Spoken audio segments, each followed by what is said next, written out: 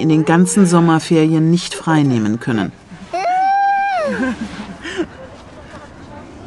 Urlaub, riesengroßes Problem. Also eigentlich ist für einen Zeitarbeiter Urlaub im, im Sommer eigentlich fast ausgeschlossen, weil dafür ist ein Zeitarbeiter da, um die Urlaubslücken zu überbrücken. Ja?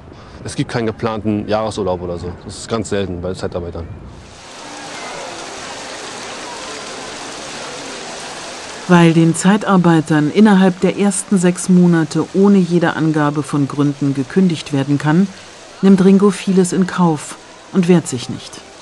Nur ja nicht negativ auffallen. Die Sorge, arbeitslos zu werden, ist so groß, dass er sogar arbeiten geht, wenn er seine Gesundheit dabei aufs Spiel setzt. Man hat sich einfach dermaßen arg angewöhnt, äh, krank arbeiten zu gehen. Das ist einfach schon drin. Also, also ich zum Beispiel muss mich betteln lassen, dass, also von meiner Frau oder von meiner Mutter, Mensch, bleib doch zu Hause, du kannst doch gar nicht mehr richtig arbeiten. Also, aber ich bin schon mit, also generell bei Erkältungskrankheiten, also ich kenne keinen Zeitarbeiter, der, der da zu Hause bleibt. Es ist so, ein geflügeltes Wort, ja. Bei Grippe und Schnupfen geht, geht man natürlich trotzdem arbeiten, weil es irgendwie das schon, dass man schon schief angeguckt wird, wenn man nicht arbeiten geht mit, mit, mit einer schweren Erkältung, ja. Und das ist schon so eine Angewohnheit, die man gar nicht, mehr, gar nicht mehr mitkriegt. Dass man irgendwie im Kopf verdrängt, zum Arzt zu gehen. Dass das überhaupt keine, gar, gar keine Frage ist. Man geht einfach arbeiten, wenn man krank ist und gut ist. Man, man verschleppt halt jede, jede Erkältung, bis dann mal richtig knallt und man richtig im Bett liegt. Aber so lange macht, zieht man durch. Weil man, einfach, weil man einfach auch immer Angst hat, abgemeldet zu werden, weil man weiß nicht, was danach kommt. Auch Harald geht in den fünf Jahren als Zeitarbeiter trotz verschiedener Beschwerden nicht zum Arzt raucht zu viel und nimmt aus Frust 50 Kilo zu. Als er eines Tages vor Erschöpfung zusammenbricht, sagt ihm die Ärztin, dass er Diabetes hat und sein Leben radikal ändern muss. Zurück zur Zeitarbeit könne er auf keinen Fall. Harald lebt jetzt von Arbeitslosengeld und den Rücklagen aus seiner Zeit als festangestellter Koch. Er will noch einmal neu anfangen und bewirbt sich in über 300 Restaurants und Kantinen. Doch er erhält nur Absagen mit der Begründung, er sei zu alt. Ich hätte nie gedacht, dass ich so eine Schlittenpartie hier mache, ne, wo das Alter vorrangig ist. Ne, also das heißt also praktisch so, wenn ich die 50 erreiche, kann ich mich schon staatlich einschläfern lassen. Und das ist irgendwo traurig. Harald will etwas gegen die unwürdigen Arbeitsbedingungen der Zeitarbeiter unternehmen und sucht Verbündete. Über die Gewerkschaft hat er Kontakt zu Sigrid bekommen. Sie ist gelernte Näherin und hat als Zeitarbeiterin schon einiges erlebt. Ja, also weshalb ich jetzt aufgehört habe bei der Zeitfirma ist ganz einfach, ich, was ich letztes Jahr so erlebt habe, das ähm, grenzt schon an richtigen Wahnsinn. Na, wenn ich da jetzt mal so ganz kurz erzähle, dass ich äh, einen Unfall hatte und ähm, ich konnte deswegen nicht arbeiten. Ich hatte so, Pfingstsonntag musste ich, Pfingstmontag musste ich eigentlich arbeiten. Da habe ich den Chef angerufen. Ich sage, ich kann nicht, ich habe einen Unfall gehabt. Und da hat er mir dann gleich am anderen Ende erzählt, ja, äh, jetzt, hast, jetzt haben sie mir einen äh, Feiertage versaut. Ne? Und dann wurde ich dann gezwungen, also von der Firma, ähm, dass ich unterschreibe, äh, dass ich unbezahlt, also einen unbezahlten Urlaub nehme. Ich wurde gezwungen ne, das so aufzusetzen, meine Unterschrift runterzusetzen. Also ich meine, ich hätte mich früher im festen Arbeitsleben äh, davon auch gesträubt, aber dann da drin, äh, man hat sich total verkauft. Ne? Und so war das ja bei dir auch. Also man, man sieht ja. ja. nur dieses Weiterkommen, diese Existenz. Mhm. Oder man ertappt sich ja dann selber schon, also praktisch, dass man ja morgens schon anruft, ne, habt ihr was für mich? Ne? Um irgendwo so äh, auch, auch freiwillig so seine Arbeitskraft anbietet und sagt, man, äh, ich will da durch, obwohl man weiß, dass man verheizt wird. Ne? Harald will eine Selbsthilfegruppe gründen, um sich und anderen zu helfen. Aber auch, um sich sinnvoll zu beschäftigen, damit er nicht in die Depression abrutscht. Außerdem hat er angefangen, an seinem ersten Kochbuch zu arbeiten. Journalisten vom örtlichen Regionalblatt helfen ihm dabei. Was ist das hier genau, Harald? Äh, das ist ein Musso Brokkoli. Ja. Im Sommer soll das Buch mit seinen Lieblingsrezepten erscheinen. Vielleicht ist das ja eine neue Perspektive für ihn. Das wird mit Sicherheit also ein Bombenerfolg. Das denke ich auch. Für alle. Ja. Danke euch, wir sehen uns ja sowieso. Ja. Weiter da, gell? Alles klar. Sauber. Mach's gut. Bis dann. Bis später. Ne? Bis später, ne? Okay, ja. tschüss. Und tschüss. Ciao. Ciao. Ciao. Hau rein. Bis nachher. Ah, Ringos letzter Tag in dem Betrieb, in dem er ein halbes Jahr gearbeitet hat, ist zu Ende.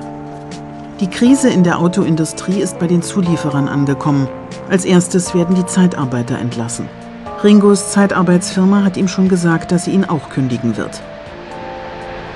Ich bin eigentlich erstaunt über mich selber, dass ich doch so als gewisse Normalität auffasse, weil man ist gewöhnt, zu Weihnachten arbeitslos zu werden.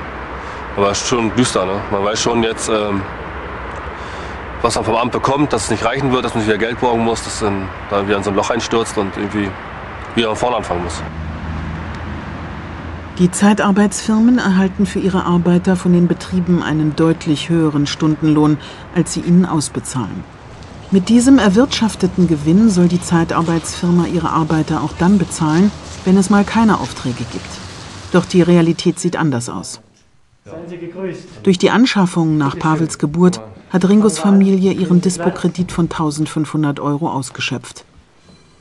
Jetzt sucht Ringo verzweifelt nach Möglichkeiten, die Ausgaben zu verringern und holt sich Rat bei einem Schuldenberater. Zwei verschiedenen Firmen, aber insgesamt ein Jahr. Also wird es eine neue Berechnung? Denn ab nächsten Monat hat die Familie mit Melanies Gehalt, dem Kinder- und Arbeitslosengeld, nur noch 1400 Euro zur Verfügung. 650 aus. Dann kommen wir zu den Ausgaben. Miete 414 Euro. 414, einschließlich, äh, also warm oder Nee, er ist eine Ofenheizung. Ofenheizung. Und da kann man rechnen, äh, alle zwei Jahre 250 Euro. Also 125 im Jahr. Zeitung, haben Sie da irgendwelche Nee. Abos? Kaufen Sie relativ regelmäßig Nein. oder weiß ich immer am Wochenende Nein. die Zeitung oder weiß ich eine Fußballzeitung Nix. oder gar nicht? Na, haben Sie ein Auto? Nee. Nicht. Immer noch nicht. Ja. Vorbildlich.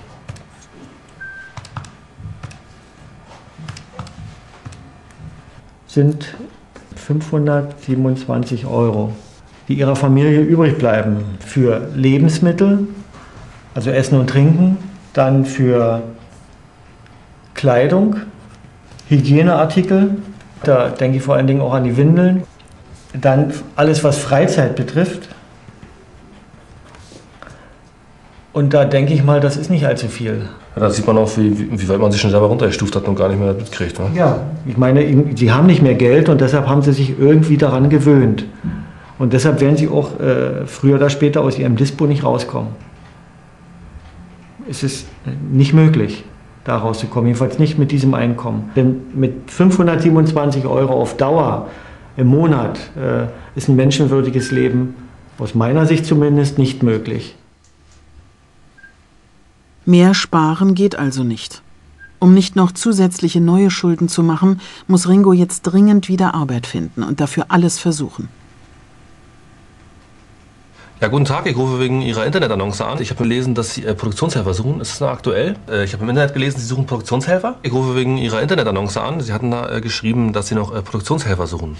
Ja, äh, wie schaut's aus? Kann ich dann rumkommen oder soll ich Ihnen die Unterlagen schicken? Alles klar, ich schicke die Bewerbung rum. Bewerbungsunterlagen zuschicken, ja? Gut, dann schicke ich Ihnen einfach mal die Bewerbungsunterlagen zu. Online bewerben. Dann mache ich das gleich fertig.